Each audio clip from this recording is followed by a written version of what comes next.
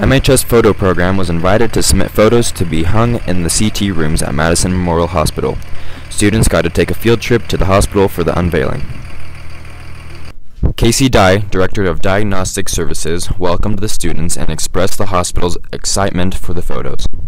So I had the thought we just put in a new CT CAT scan room.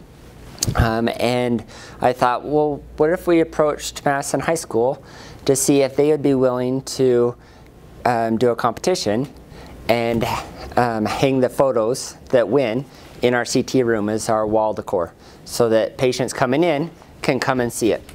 So as we um, started this journey, um, we talked with Mrs. Walters and she said she would love to. We gave you guys the theme of coming home.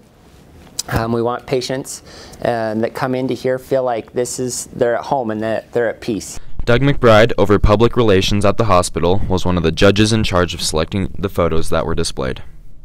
Probably to help you to understand why we wanted to run this program is we know that there's a lot of talent within the high school students within our area and uh, to be able to showcase their work along with our hospital would be a nice mesh for us. We have a particular need that we're needing or having for these pictures and one of those is to kind of between our scanning rooms and the actual technicians in there. Miss Walters was proud of her students for their skills and hard work being recognized.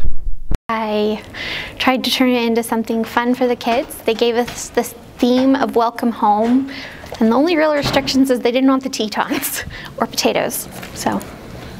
Photo student Tanner Averill had two photos displayed.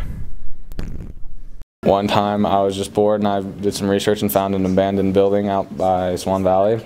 And uh, my grandpa, it was kind of like a tradition thing that we'd go and he'd take us into Swan Valley and get us ice cream afterwards. And so he took me over there, and we went to the to the old house and then took the picture. And then when I went back, I really liked the photo, and so I thought I'd enter that. Amber Helfrich, Photo 3 student at Madison High School, was thrilled to have her photo chosen. I thought that it was really pretty and that it just was really like I don't know, natural. um, with those photos there, they will hang for one year, and then next year we'd like to do it again, and then have them out there. Um, we talked to Mrs. Uh, Walters.